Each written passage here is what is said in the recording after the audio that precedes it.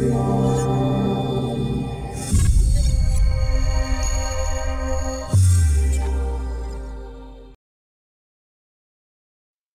So in this series of videos, we're going to give you an overview and an orientation to Business Central. It won't be module specific, but it's really just about navigation, being able to see views, understanding profiles, understanding how to do some configuration and personalization so that the shortcuts and the things that help you do your job more efficiently are right at your fingertips. So the first thing that we want to review is profile versus permission. So oftentimes this is something that's confusing for people. They worry about giving people access to things that they shouldn't. However, when you log into Business Central, you are given a profile, which is essentially just going to drive what your landing page looks like.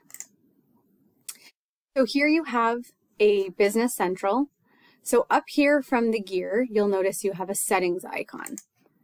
So with the My Settings, you will have the ability to do things like set a role, choose which company you're in, set your work date, which often in a demo company is, you know, April 2022 or some random date. So this would allow you to change the date to the current if you need to. You can set your region, your language. You have things like your ability to be able to change when you receive notifications, teaching tips. So as you navigate around getting a pop-up just explaining what different things are. Over time, you're going to need them less and less, so you can turn them off, and just where your files are stored. So what I want to cover here is the role. A lot of the times, the business manager is the default role, but this is really more for a, manager or a high-level executive type thing. So when you click on the three dots here, you'll notice that you're going to have a list of the profiles that you could select from. So here you can see purchasing agent, company hub, accountant. So let's say, for example, you're somebody who's a manufacturing manager.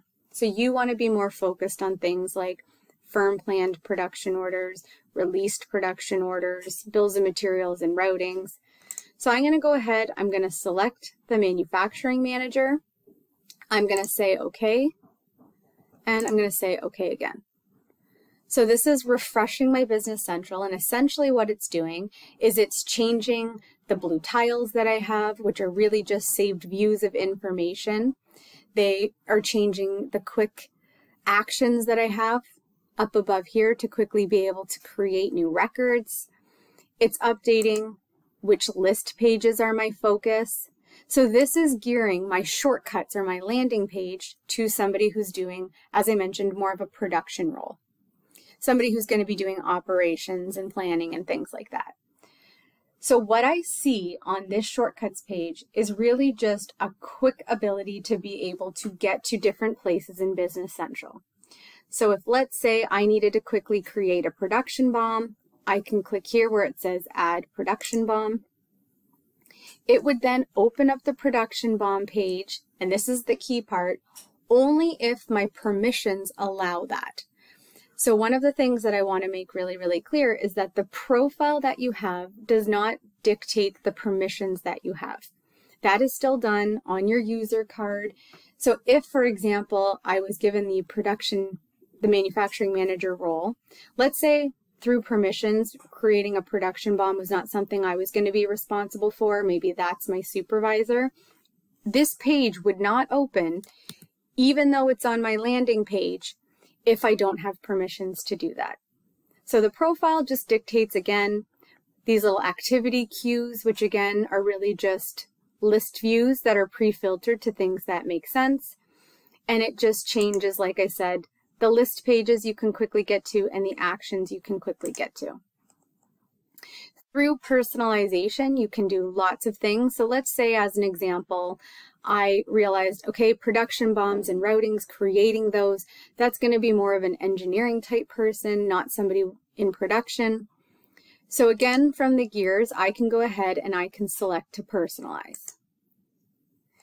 So now what I can do is I'll see when I hover over things, I've got this yellow triangle. So on production BOM, as an example, if that's not something I'll be responsible for, why not make my page more focused and add the shortcuts where I need them? I'm going to go ahead and hide what I don't need. We'll do more videos on hiding and showing and how to show things. But again, your landing page is dictated by your profile. Your profile can be modified and, and changed even further by adding things that aren't there that you need and hiding things there that you don't. But again, permissions are what's going to drive whether or not you can actually go in and read and write information inside of Business Central.